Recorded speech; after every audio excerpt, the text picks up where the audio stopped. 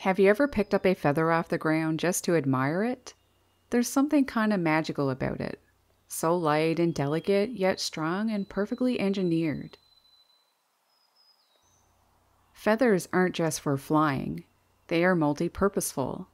They insulate against cold, shed water like a raincoat, camouflage, protect from the sun, and sometimes dazzle us with colors so bold they help attract a mate. And the variety, it's astonishing. Take the shimmering greens and purples of a wood duck, the bright yellow pop of an American goldfinch in spring, or the fiery red of a northern cardinal against fresh snow. Birds are like the fashion icons of the animal kingdom. But among all these colors, there's something about blue that stops us in our tracks, such as in birds like the blue jay. Why is that? A couple reasons. For us humans, blue has a calming effect. Studies have shown it can actually slow our heartbeat and breathing. It's the color of peace, trust, and tranquility. But here's the other reason. In nature, blue is surprisingly rare. Aside from the sky and the ocean, you don't see much of it. Fewer than 1 in 10 plants manage to make blue flowers, and in animals, even rarer. So, when a blue jay flashes those bright feathers, it feels special. There's a twist, though. Those feathers aren't actually blue in the way we think they are, which makes this whole thing more interesting. Let me explain. But first, how do birds get their colors in the first place? Most of the time, it's thanks to pigments.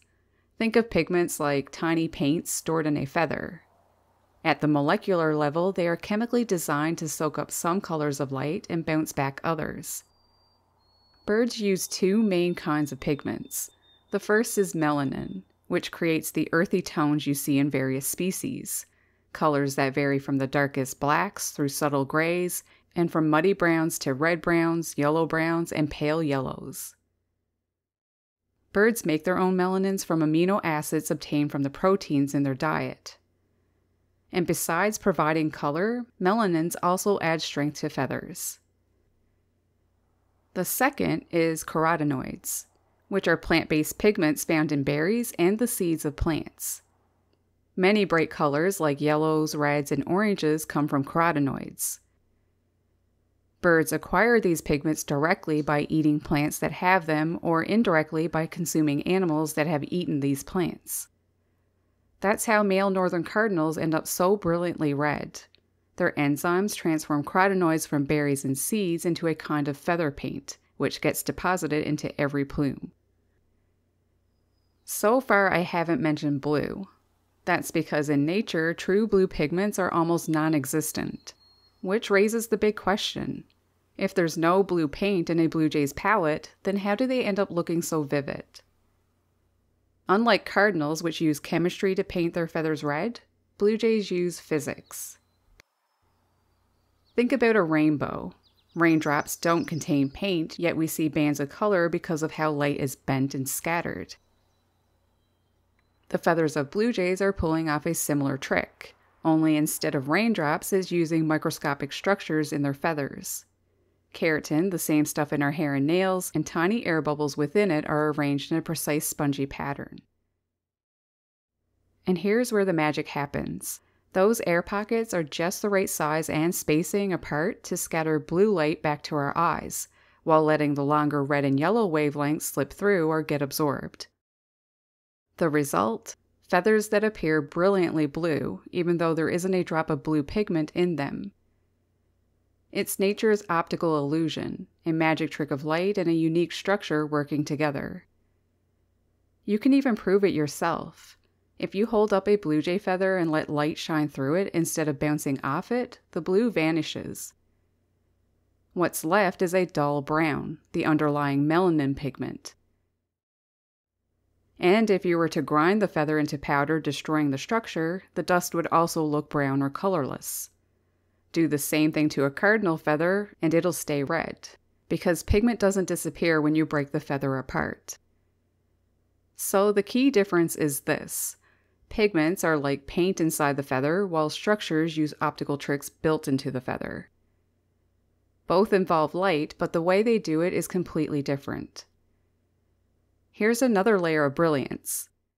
Not all blue is the same as we can see. Why is that?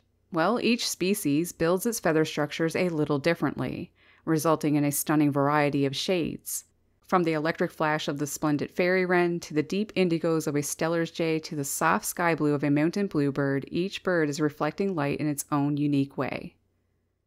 But there's also one more silent helper melanin, the earth tone pigments I mentioned earlier. Beneath the nanostructures, a thin layer of melanin acts like a dark canvas. It soaks up stray light so the blues stay crisp and vivid. Without it, the colors would look pale and washed out.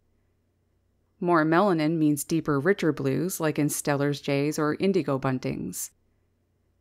Less melanin leaves softer tones, like the powder blue of a mountain bluebird.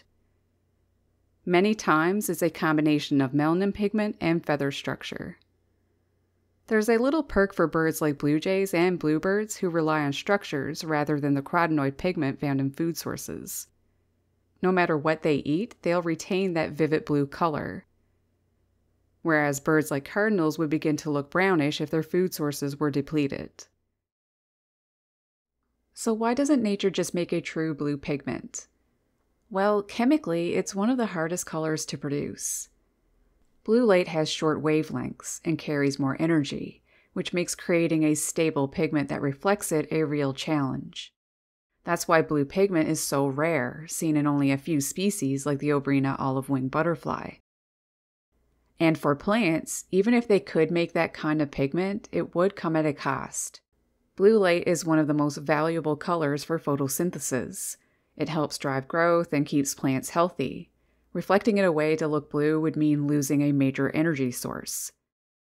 That's why fewer than 1 in 10 flowers appear blue, and even then, most are using different tricks of their own, not blue pigment.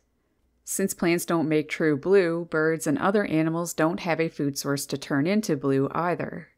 Cardinals can borrow red from berries, flamingos pink from algae and shrimp, but blue jays or bluebirds? No such shortcut. So nature found a clever workaround. Instead of chemistry, birds and other life forms used physics to look blue, building nanostructures in their feathers and skin that bend, scatter, and reflect blue light safely and efficiently. No costly pigments required. That's why, in almost every case, the brilliant blues we see in birds are illusions of physics, not true pigments. And honestly, I think it makes it even more fascinating. It's spellbinding the various hues that exist in birds. The process is required to create so many of the different colors and intensities we see. For birds, though, things look much more colorful than our eyes are capable of perceiving. They see a wider spectrum with more colors in between.